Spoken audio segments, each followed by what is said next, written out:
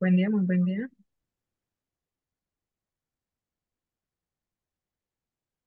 Buenos días.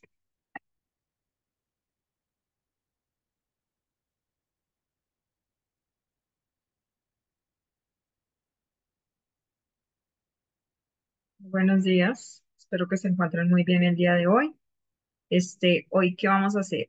El día de hoy yo ya les asigné un taller, un taller número 11, si no estoy mal. El taller número 11 es básicamente el mismo tema del taller número 10. Entonces, como son el mismo tema, entonces vamos a, van a escoger ustedes un ejercicio que quieran que yo haga, por favor. ¿Listo? Abrimos Classroom.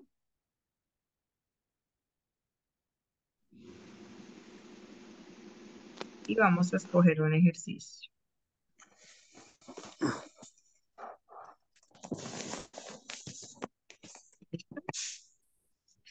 El taller, apenas terminemos la clase, el taller número 10, se los califico. El, el taller número 9, ¿listo? No, no, nadie tiene la nota del taller número 9. Apenas, apenas terminemos la clase, les califico. Creo que una pregunta. Lo que pasa es que a mí no me parece que usted me haya calificado el taller número 8. No es sé. Porque de pronto lo entregaste tarde.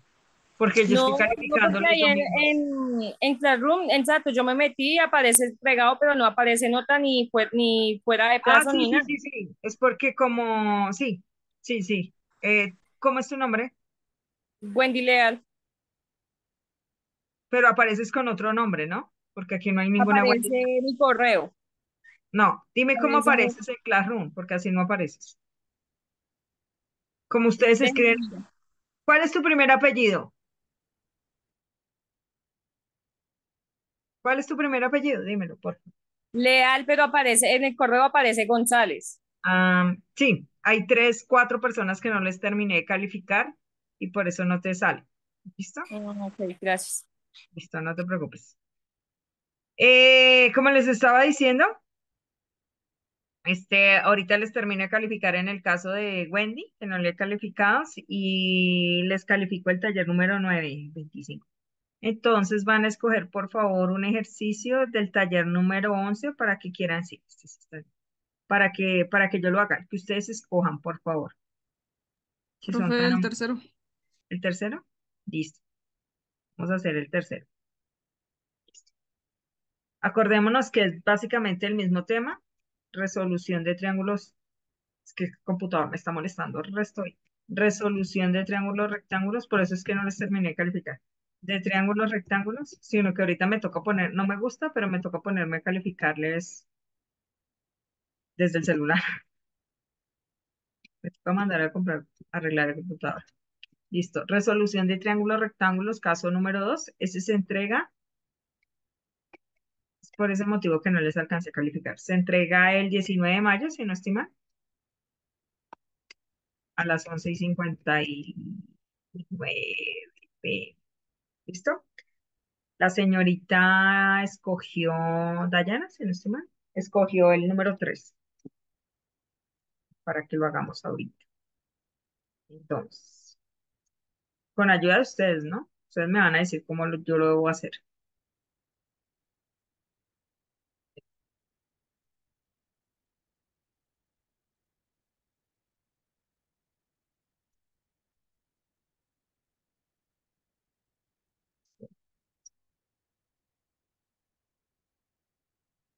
Chin, chin.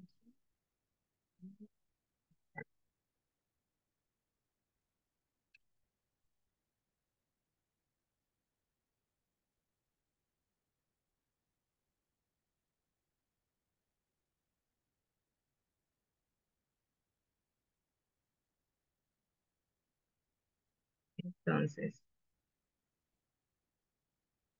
acá eh, los valores de ese acá son 25 centímetros, si no estoy mal. 25 centímetros. Ah, ah, no, mentira, 5 centímetros en el lado izquierdo. 5 centímetros. Esta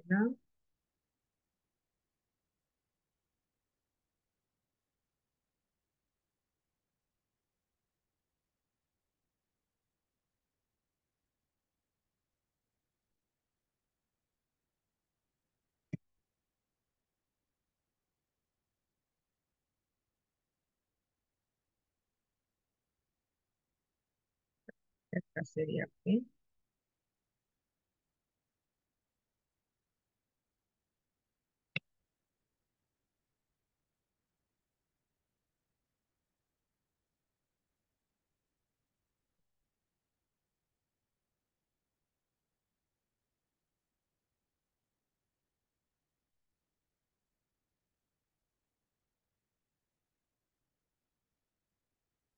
¿Listo? Esta sería beta. Grados, primero los 17 grados.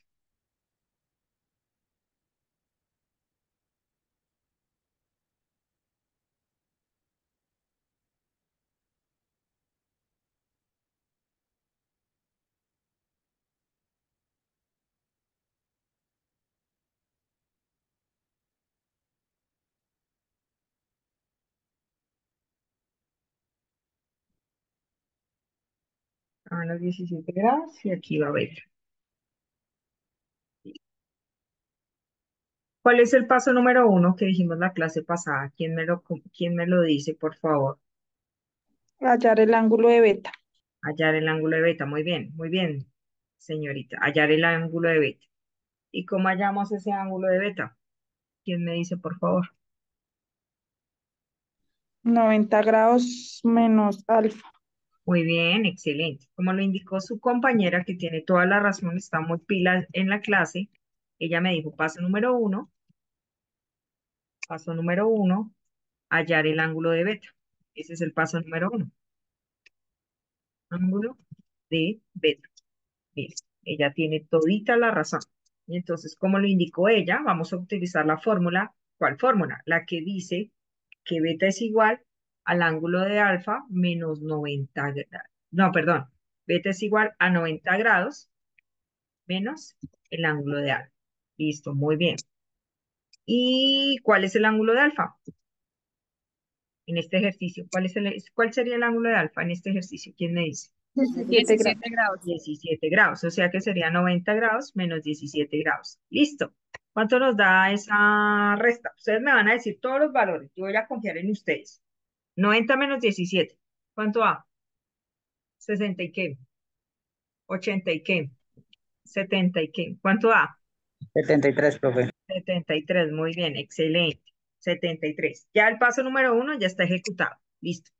¿Alguien tiene alguna duda de cómo hicimos eso? Listo. Paso número dos. Hallar los lados que faltan.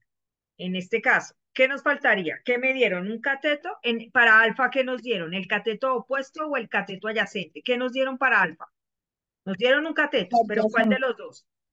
El cateto adyacente. El cateto adyacente, muy bien, excelente, señorita. Nos dieron el cateto adyacente. Entonces, ahorita vamos a definir qué fue lo que nos dieron. Entonces, hallar, paso número dos, hallar los lados que faltan. Hallar los lados que faltan que falta. Y como le indicó sus compañeros, entonces vamos a revisar qué nos dieron de alfa. Entonces, ¿me dieron la hipotenusa? No, la hipotenusa no la tengo. ¿Me dieron el ángulo de alfa? Sí. El ángulo de alfa lo acabaron de decir ahorita cuando hallamos beta. El ángulo de alfa eh, vale 17 grados, ¿cierto que sí? Nos dieron el cateto adyacente, muy bien. Ese fue el que nos dieron, el cateto adyacente. Ese fue el que nos dieron. Y el cateto adyacente mide 5 centímetros. Me falta, ¿qué? Me falta el cateto opuesto, que no lo tengo. ¿Cierto que sí? Me falta el cateto opuesto, que sería igual a, mm, que es el que no tengo. Y me falta la hipotenusa. Entonces, cuando me dan el cateto adyacente en alfa, ¿qué tengo que hallar? Ya lo dijimos acá. Tenemos que hallar qué? Tenemos que hallar el cateto opuesto y la hipotenusa. Entonces, ¿qué razón trigonométrica aplico cuando tengo el cateto adyacente y quiero hallar el cateto opuesto? Díganmelo, por favor. ¿Qué razón trigonométrica utilizaría ahí? Acuérdense que yo les di una tablita, ¿no? ¿Qué razón trigonométrica ustedes utilizan cuando tienen el cateto opuesto y quieren hallar el cateto, perdón, cuando tienen el cateto adyacente, cuando tienen el cateto adyacente y quieren hallar el cateto opuesto? ¿Qué razón mezcla el cateto opuesto y el cateto adyacente? ¿Quién me dice, por favor?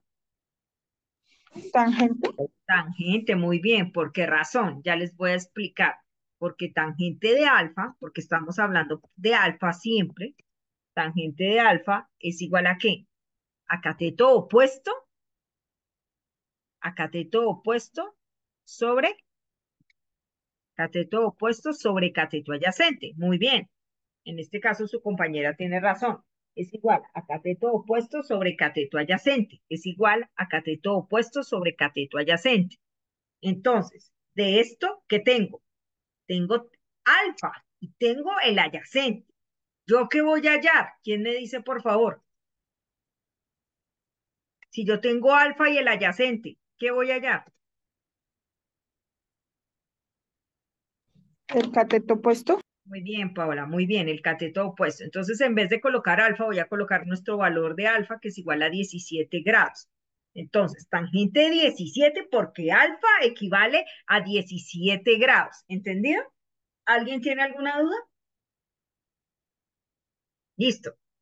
Como yo no tengo el cateto opuesto y es lo que voy a hallar, entonces coloco CO de cateto opuesto porque yo no sé cuánto equivale pero yo sí sé cuánto equivale el cateto adyacente. ¿Cuánto equivale el cateto adyacente? 5 centímetros.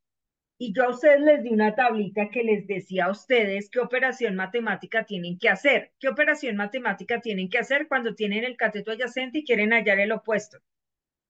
¿Una qué? ¿Una división o una multiplicación? Multiplicación. Entonces, ¿qué tenemos que multiplicar? Tenemos que multiplicar. ¿Tangente de quién? Tangente de 17 grados 2, ¿cierto que sí? ¿Multiplicado por cuánto? ¿Por cuánto? 5. 5 centímetros. Háganlo por favor en la calculadora y yo confío en el valor que ustedes me den. Tangente de 17 grados multiplicado por 5 centímetros. ¿Cuánto les daría? 85. ¿85 cerrados o tiene algún decimal? Pilas con eso. No sé cómo en los decimales, si dado el caso tiene decimal. No porque no es multiplicar 17 por 5, es multiplicar, tienen que escribir, venga, les muestro en la calculadora porque veo que todavía no lo saben utilizar. Esperen un segundito, abro mi calculadora porque creo yo que todavía no lo saben utilizar. Esperen que abra la calculadora porque yo creería que multiplicaron 17 por 5. ¿Ven la calculadora todos? Sí, profe, no, profe. Contésteme, por favor. ¿Sí la ven o no? Sí, señora. Listo, Sí, profe. Entonces, lo primero que ustedes tienen que hacer para cuando van a hacer esto es colocar tangente o la razón trigonométrica que sea. Si es seno, colocan seno. Si es coseno, colocan coseno. En este caso, tangente de quién? De 17 multiplicado por cuánto? Por 5. Eso, eso les da eso les da, em, espérense que acá, 1,5, ¿listo? 1,5 ¿qué? 1,5 centímetros. Coloquen dos decimales después de la coma. 1,52 ¿qué? Centímetros. ¿Entendido? ¿Alguien tiene alguna duda? ¿Alguien tiene alguna Yo, duda? profe, Dime.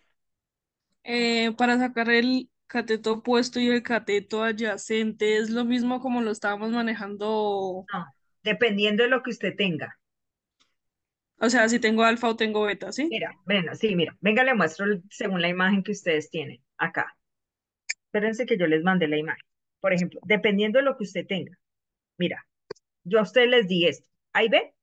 ¿Medio ven? Porque casi creo que no se ve bien.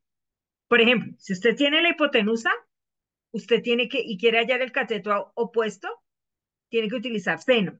Y la operación matemática que tiene que hacer es una multiplicación. ¿Por qué razón? Venga, le digo por qué razón. Porque si usted utiliza un seno, mira, acá. Entonces usted escoge seno de alfa, ¿cierto que sí? Ahí ven, seno de alfa es igual a cateto opuesto sobre hipotenusa. Entonces ustedes que siempre van a tener alfa y van a tener lo que les dice acá. En este caso van a tener la hipotenusa. Entonces, ¿qué operación matemática va a hacer usted? Una multiplicación porque la hipotenusa pasa a multiplicar. ¿Qué pasa si ustedes tienen, quieren hallar adyacente teniendo la hipotenusa? Ustedes colocan coseno de alfa es igual a qué? A cateto adyacente sobre la hipotenusa. ¿Ustedes qué tienen? Acuérdense, tienen alfa y tienen la hipotenusa. ¿Qué, qué multiplicación, qué operación van a hacer? ¿Una qué? Una multiplicación. ¿Por qué? Porque cateto opuesto va a quedar a coseno de alfa multiplicado por la hipotenusa. ¿Sí me entienden? Y ahora, eso si tienen hipotenusa, si tienen cateto opuesto, ¿qué pueden hallar? El adyacente. Entonces ustedes utilizan tangente. Tangente de alfa va a ser igual a cateto opuesto sobre cateto adyacente. ¿Ustedes qué van a tener? Alfa y el cateto opuesto. ¿Qué quieren hallar? El cateto adyacente. Ahí es cuando tú haces una división. ¿Por qué razón? Porque tangente pasa abajo y cateto adyacente pasa arriba. O sea que cateto adyacente va a ser igual a qué? A cateto opuestos sobre tangente de alfa. Ahí es donde haces una división. O sea que básicamente, ¿qué te estoy diciendo yo? La operación matemática es la que, la que te estoy colocando al frente, es la que tú tienes que hacer al final. Y la razón trigonométrica es la que tú tienes que utilizar. En este caso, ahora sí, a ver, quito esto. ¿Sí me entendiste o no? Estoy hablando o hablé, hablé en chino. Por ejemplo, por ejemplo, Dayana, en este caso, tienes cateto adyacente y quieres hallar hipotenusa. ¿Qué razón trigonométrica crees que debes utilizar?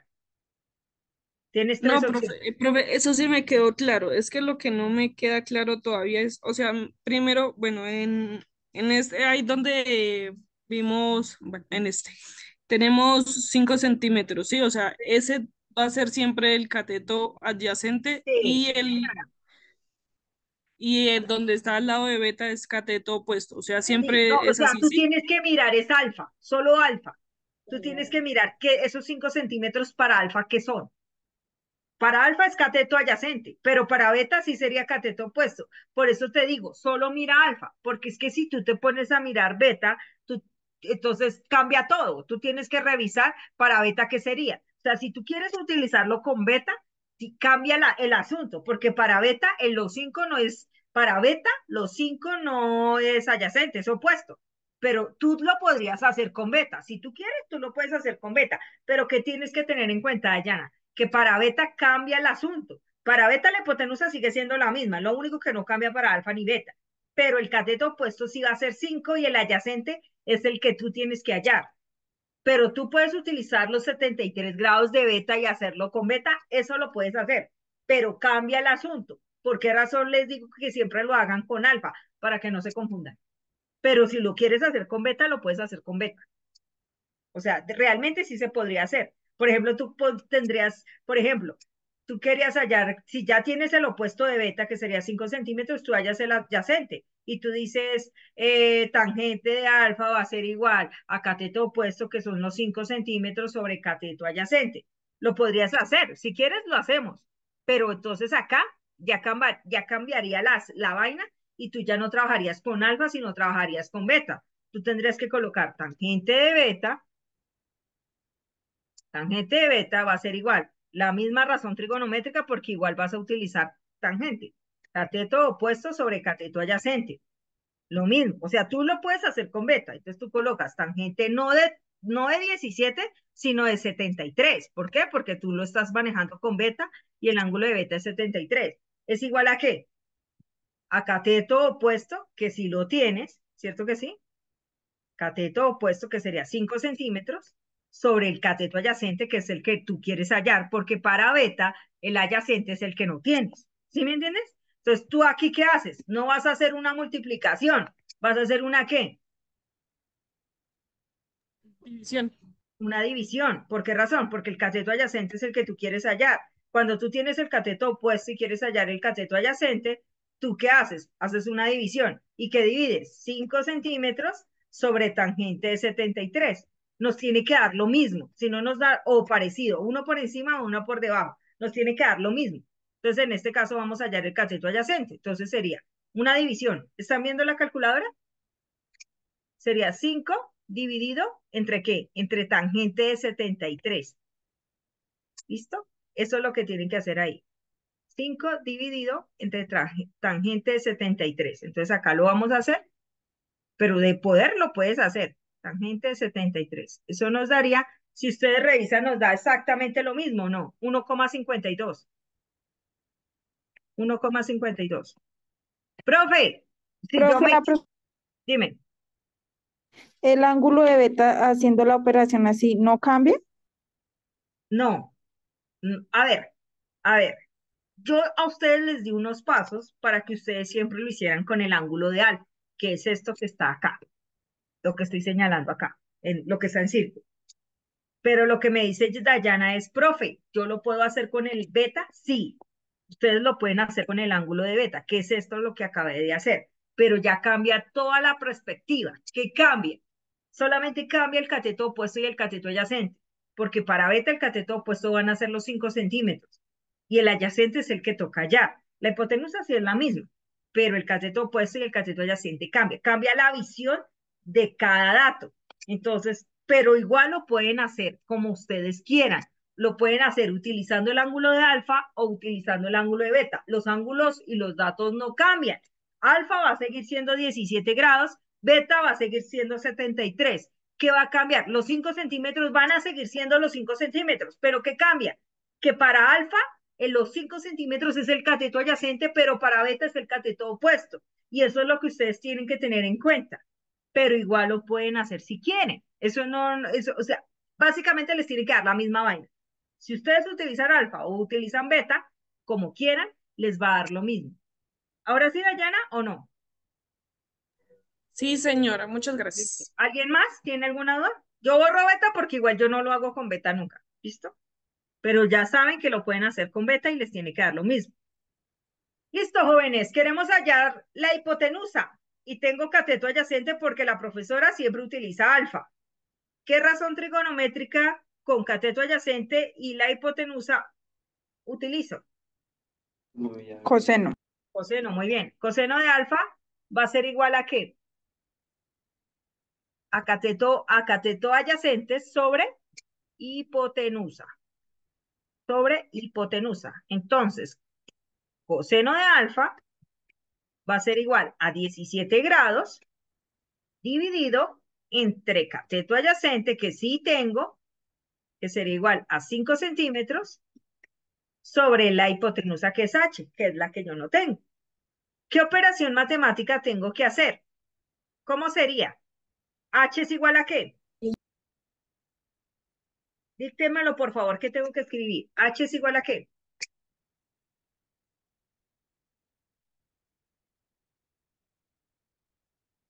A 5 centímetros sobre coseno de 17 o coseno de 17 sobre 5 centímetros.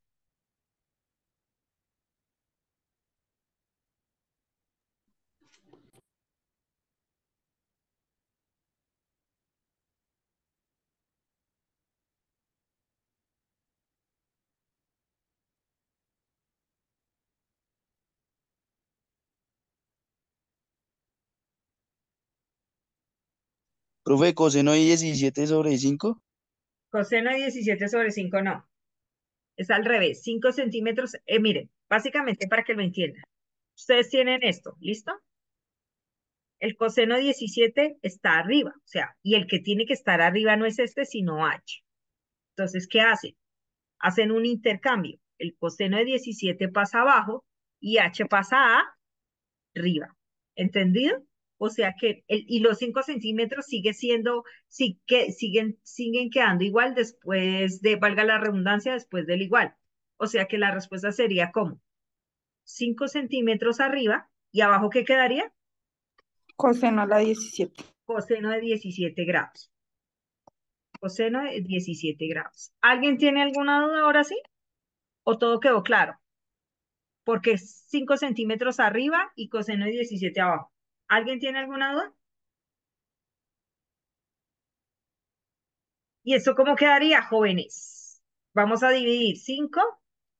5, que no se nos olvide el coseno, por favor, porque creo que se nos está olvidando escribir coseno. Eso nos daría 5,22 centímetros. ¿Alguien tiene alguna duda?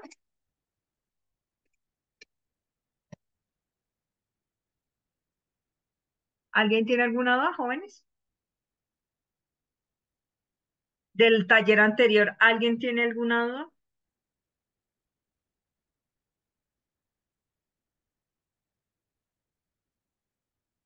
Listo. Vamos a llamar a lista y en los 20 minutos que quedan, bueno, casi media hora de clase, bueno, 25, porque después de que llame a lista, este, vamos a, van a, van a resolver este taller y cualquier duda me preguntan por favor si son tan amables por interno. ¿Listo? Entonces me van a contestar por favor, me dicen presente. Fernández Carlos. Alfonso Paola. Presente, profe. Listo, gracias, Paola. Eh, Araujo Karen. Presente, profe. Gracias. Ardila Angie Valeria. Presente, profe. Eh, Ballesteros Yuris. Caro Julián David. Carrasquilla Heider Nicolás. Carvajal Tique Charit Valeria. Casas Bautista Duber Camilo. Presente, profe. Eh, González Hernán Camilo. López Arango Andrei. López Arango Andrei. Bueno. Eh, Moreno Harold David. Presente, profe. ¿Listo? Murcia Kelvin Santiago. Presente, profe. ¿Listo? Eh, Ocampo Anderson. Peña Dayana. Presente. Eh, Pérez Egnar Rosa. Quevedo Miguel Ángel.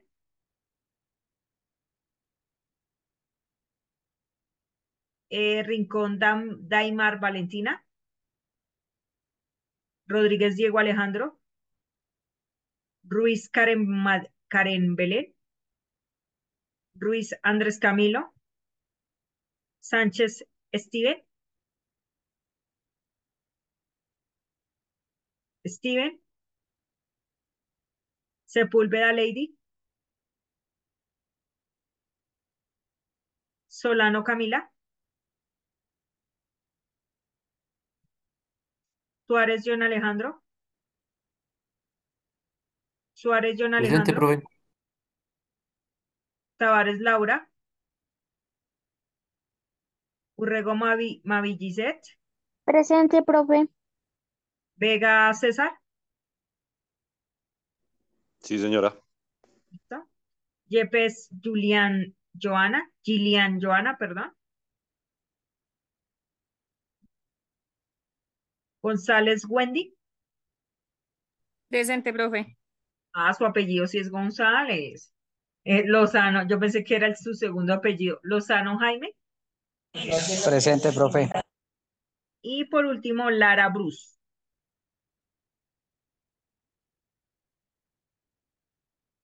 Lara. Lara. Que por ahí lo vi. ¿No está? Cruz. Y Cruz Nicolás. Listo, jóvenes. Antes de terminar la clase, vuelvo y pregunto, ¿alguien tiene alguna duda? Listo, jóvenes. Ahorita les voy a calificar, les mando esta foto y les voy a calificar eh, lo que tenemos pendiente de manera inmediata apenas terminemos la clase para que ustedes, por favor, revisen ahorita más tarde las notas. ¿Listo? Va a estar calificado hasta el taller número 9. ¿Listo? Acuérdense que el taller número 10 lo tienen que entregar el día de hoy. ¿Listo? Que estén muy bien. Que tengan un excelente día. Nos vemos. Chao, profe, gracias.